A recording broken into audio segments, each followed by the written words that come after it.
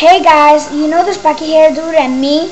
We play Club Penguin sometimes, only when we are bored. So, our names in Club Penguin are, mine is Cater2113 and his three I mean 1, hell LOL.